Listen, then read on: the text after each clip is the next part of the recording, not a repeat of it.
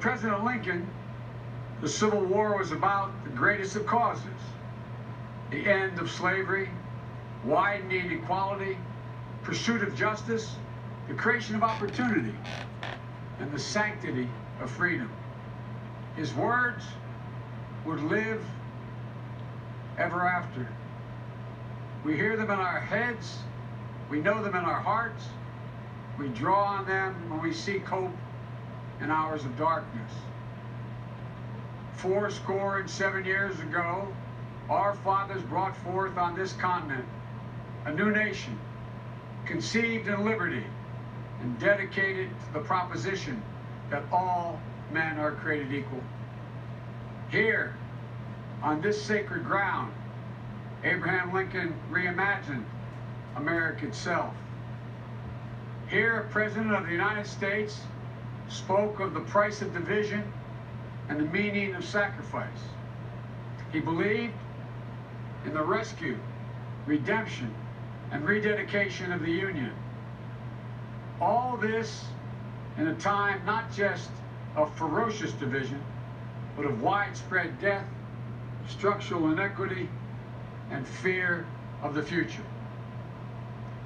And he taught us this a house divided could not stand. That is a great and timeless truth. Today, once again, we are a house divided. But that, my friends, can no longer be. We are facing too many crises. We have too much work to do. We have too bright a future to have a it's shipwrecked on the shoals of anger and hate and division. As we stand here today, a century and a half later after Gettysburg, we should consider again what can happen when equal justice is denied, when anger and violence and division are left unchecked. As I look across America today, I'm concerned. The country is in a dangerous place. Our trust in each other is ebbing. Hope seems elusive. Too many Americans see our public life not as an arena for mediation of our differences, but rather they see it as an occasion for total, unrelenting partisan warfare.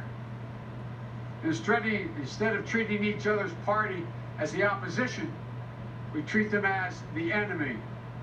This must end. We need to revive the spirit of bipartisanship in this country, a spirit of being able to work with one another. When I say that, and I've been saying it for two years now, I'm accused of being naive. I'm told maybe that that's the. I'm pausing it for a second. I have to interject real quick. Um, of course, for this is a disclaimer of what I'm going to say. I'm so far still voting for Trump. With that said, um, Biden, um, you come as a peacemaker. I think so far what I've saw is this is your best speech I've ever heard, ever heard, and I hope you continue it uh, when I watch it and continue it and bring up Antifa and the violence in Black Lives Matter and how we need to settle our differences in a court of law or in the minds and the hearts of our enemies with dialogue, right? Um, as far as uh, uh, our Creator, you know, made us and all, you know, uh, an unalienable rights or whatever, certain unalienable rights. Uh, um, you know, we're all created uh, in God's image and all this and that. Uh, you know, um,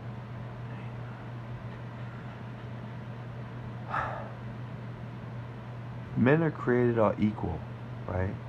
Created. When were men created? In the womb, right? It's where God knitted man in the womb. And that includes woman. When we desecrate that man or woman that supposedly have equal rights to us, a baby in the womb should have equal rights as I do because they're created with certain unalienable rights. Just because they're in a womb, they're a renter for a little while. Doesn't mean they don't have humanitarian rights to live. But with that exception so far, Biden, I wish to God you'd have did this speech going against abortion, but this so far is your finest speech I've ever heard. Way things used to work, Joe, but they can't work that way anymore. Well, I'm here to tell you they can, and they must, if we're going to get anything done. I'm running as a proud Democrat, but I will govern as an American president. I'll work with Democrats and Republicans. I'll work as hard for those who don't support me as those who do. That's the job of a president. That's a promise, okay. The duty to care for everyone. Refusal of Democrats and Republicans to cooperate with one another is not due to some mysterious force beyond our control. It's a decision. It's a choice we make. And if we can decide not to cooperate, we can decide to cooperate as well. That's the choice I'll make as president. But there's something bigger going on in this nation. I just let just Than point it out so maybe his handlers can tell him Trump darker. in his own way denounced the Proud. Boys. At I'm not talking least Biden needs to differences of opinion. denounce Antifa.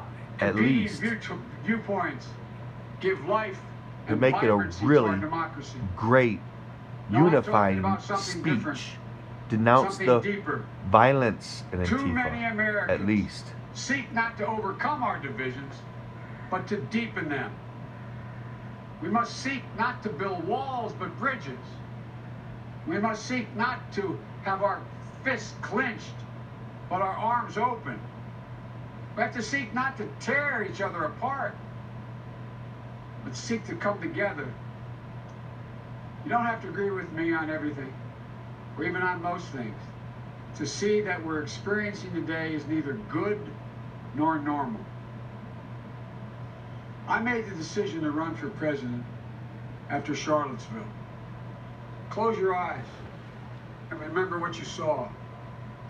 Neo-Nazis, white supremacists, Okay, you can. and That's the fair. KKK That's coming fair out to of bring the up. fields with torches lighted, If you bring up the left, the plank in the left side chanting side. the same anti-Semitic bile heard across Europe in the 30s. Was hate on the march. This is not unifying. open. If you in America. Hate never goes away, it only hides. And when it's given oxygen, when it's given an opportunity to spread, when it's treated as normal and acceptable behavior, we've opened a door in this country that we must move quickly to close. As president, that's just what I will do. I will send a clear, unequivocal message to the entire nation. There is no place for hate in America. how about your your party? be given, it will be given no license. It will be given no oxygen. That's how you get given no credibility. safe harbor. Is to say yes, there's problems in our party too, months, and I denounce it. country has been riled by He, he needs instances of to say that to hit a home run. He has to say something about the left. cases and the violence in the left. and lives needlessly and senselessly lost. He wants to unify, right? by That's the peaceful right tactic. protesters giving voice to the calls for justice, by examples of violence and looting and burning that cannot be tolerated. Good. All right. Now you now you got scored. in law and order. You scored. I've never supported defunding the police, but I also believe injustice is real. It's a product of a history that goes back 400 years, the moment when black men, women, and children first were brought here in chains. I do not believe we have to choose That's between racial and order Uh, and anger. racial justice in America. Yeah, it's that's stoking it now. have both. This is a nation strong enough to both honestly face systemic racism and strong enough to provide safe streets for our families and small businesses that too often bear the brunt of this looting and burning. We have no need for armed militias roaming America's streets. And we should have no tolerance for extremist white supremacy groups menacing our communities. If you say we should trust America's law enforcement authorities If they to do are, the job, um, as I do, They said there was some reports of that, so I'm not arguing with it. without extremist groups acting as vigilantes. That's, that shouldn't no be tolerated. Uh, we can't let. Trump be king. Don't go out and do things on your own accord. It won't work out for you. powerful voices for justice in recent weeks and months. George Floyd's six-year-old daughter, who I met with, who looked at me and said, We're trying to make peace, right? voice, So we have to cool people down. Also, Jacob Blake's mother was another when she said, violence didn't reflect her son, and this nation needed healing. And Doc Rivers, the basketball coach, choking back tears when he said, We're the ones getting killed. We're the ones getting shot. We've been hung. My my uncle got hung. My uh, nephew country does not got kind of killed. A mysterious heart problem, young, 20s. Um, I think about what it takes. lots of stuff person is to love a lot of my people have died. is a deep Brandy, my this country girlfriend, cancer. that has for far too Um, long Sarah from heroin in her arm. Some of my people have died too, Doc. Seeks to de-escalate tensions, to open lines of communications, to bring us together, to heal, to hope. As ah, Ozzy, president, and I could just go on. We paid a high price for allowing the deep divisions in this country to impact on how we deal with Shot by his brother, Kevin. 210,000 Americans dead, and the number's climbing. It's estimated that nearly another 210,000 Americans could lose their lives by the end of the year. I'm impressed. I'm still voting for Trump, no but more. I'm impressed by Biden. I'm Let's just impressed. I really am. He's come. He's coming. If he would have just and follow the went that science. extra huge step, wearing a I'd wearing a mask is not a political statement. stop killing babies. We can find other ways to fund the Democrats. Social distancing I would. I would. I would have melted. statement. It's a scientific recommendation.